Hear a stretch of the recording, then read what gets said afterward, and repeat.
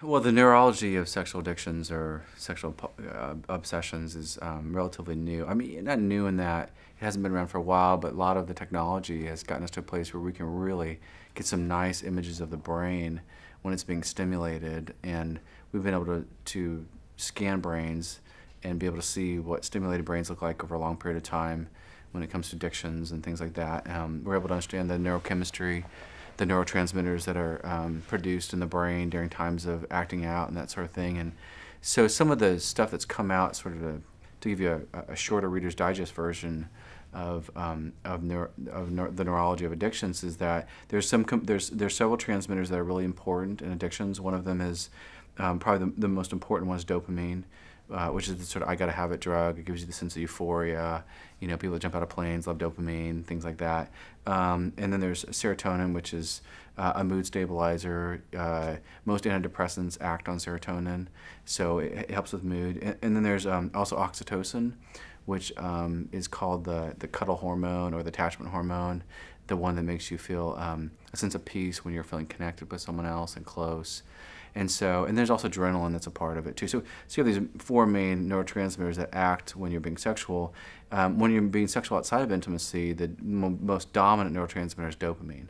And um, that's kind of this feeling of, that's part of what takes you away from all the things that you are feeling because you get this dopamine rush through your body and, you know, a lot of it is in anticipation of the of the image, and then it's seeing the image, and then it's always acting out, and uh, this flood of dopamine. It feels fantastic, and you know you're not aware of all your sadness, and your sorrow, and your life stressors, and all that. And kind of you're almost in this artificial state because of the production of dopamine. And the tricky thing about it is that, you know, most addictions are things you inject into your body. Um, you have to go get it, you have to snort it, you have to drink it, you have to do whatever with it. Where sexual addictions, you're your own pharmacy. And so you're using these natural chemicals in your body to be able to stimulate this sense of euphoria. And dopamine has been most closely compared to cocaine.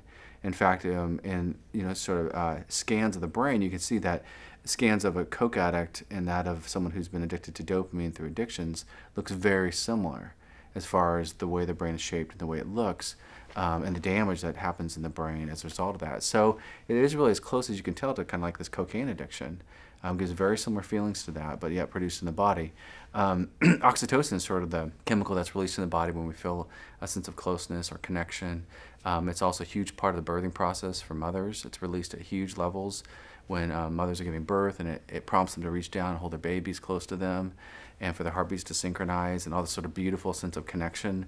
Well, that that uh, that transmitter is still in the body as adults, and we experience that when we experience intimacy with other people and closeness and sexuality. And so it's it's also a chemical that kind of tempers our need for dopamine, and um, gives us a sense of closeness. For instance, following sex and that sort of stuff, um, as opposed to this sort of dopamine hangover that can happen without this without the presence of oxytocin as being part of the experience.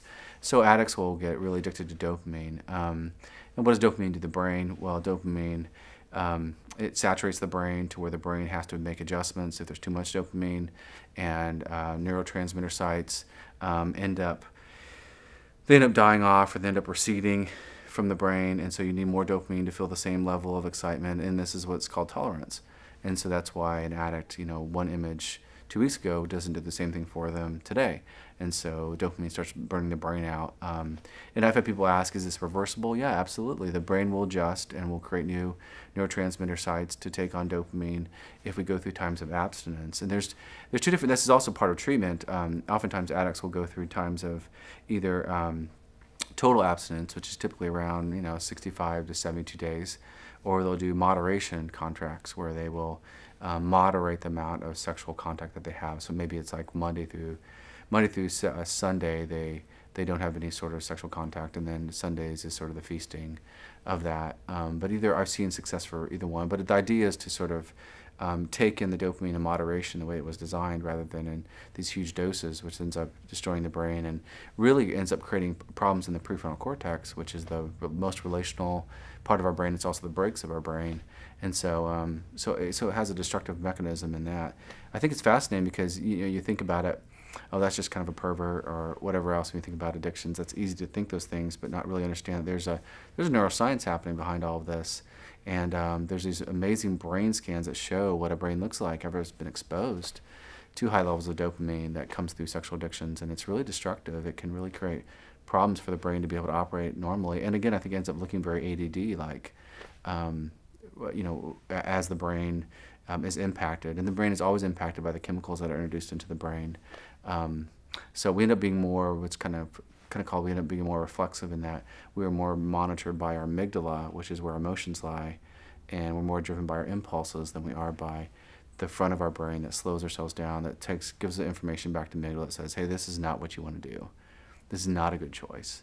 Um, and those, those, the capacity to be able to do that begins to be affected as the brain begins to change. Um, but the brain is neuroplasticity, and so it's changing all the time. And so, you know, if, if you're struggling with addiction and your brain is kind of making this adjustment and it can be readjusted back to um, to pretty healthy levels. But again, you know, I mean, neuroscience is still really at its beginning of understanding the brain and as it relates to uh, addictions, as it relates to other types of um, psychological disorders. And so, you know, the next 10 years, we're going to know a lot more. And maybe this, the next 10 years, we'll be looking at this video and saying, wow, you know, things, we know even more now than we knew then, and we can fill in some more gaps. But for now, it's really promising. Um, and there are some suggestions in the field that within five or 10 years, you know, all mental health diagnoses will be able to be um, monitored, evaluated, and confirmed through um, through scanning of the brain, just by looking at the brain and saying this part of the brain's overdeveloped, underdeveloped, and this is where depression lands. This is where anxiety lands. And they're already able to pinpoint where all these things land on the brain. And now it's just understanding even better. So I think for the addict to, to understand that, that you know, it's, it's, it's a rewiring of the brain too.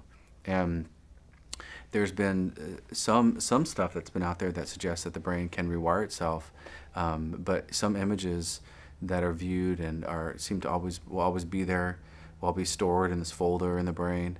And um, as long as it's not being used, as long as the brain's not accessing that folder, then the connections become weaker and weaker, and that the brain can create new neurological connections to body responses to images and stuff, which I think is pretty cool. I think you know sexuality when it's not paired with intimacy, you know, produces such high levels of dopamine that um, there's conversation in the field about dopamine hangovers, and these hangovers, you know, can depending on the person, can last you know up to two weeks um, and usually it's, you know, this dopamine drop after the dopamine spike, um, which then has an impact on the other neurochemicals in the body. And the person can end up feeling somewhat depressed or lethargic. And it, it sometimes it's hard to separate, you know, what's actually depression and dopamine hangover and what's just shame from having acted out. And I think that the hangover can contribute to the shame, the shame can contribute to the hangover. And I think that's part of the, the real low that comes. Um, and so what, you know, so what does someone do when they feel that? Well, they got to get out of it. And so there's a compulsion to go back to the addiction to get them out of the way that they're feeling because it's too it's too overwhelming. You know, it feels too um, it's too painful, and so they'll go back to the addiction to numb themselves out with more dopamine. You know, and every time they go back to it, they're further burning the brain out um, and creating more neurological problems for them. I mean, I think you know neurotransmitters are intended to be used in moderation, like most things in life. You know, moderation seems to be the healthiest. And so you take dopamine and you overdo it, then you know your your brain's going to be impacted by it, and your moods will be impacted by it because it's a you know, it's, it's part of regulating mood, dopamine is, and so is serotonin. Uh, in and of itself, dopamine, it's a wonderful thing. Us energy, gives us motivation, it gives us drive to do things. Um, but when used and overused, um, it can create real problems for the brain. And with a sexual addict, that's, a, that's one big problem for them is the overuse of dopamine.